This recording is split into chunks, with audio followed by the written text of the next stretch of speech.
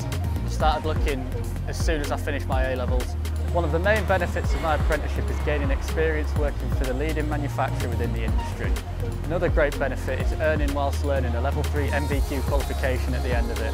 On the shop floor we're supported with any work we feel uncomfortable or nervous undertaking by, we just ask someone else on the shop floor, a more experienced member of staff who are always happy to help. And at college, our tutors are very supportive and always do the best they can to make sure you finish and understand your modules. Pay at Severfield is very good, very competitive. If someone wanted to apply for an apprenticeship at Severfield, I would highly recommend it. It's a great place to work and the apprentices are supported fully.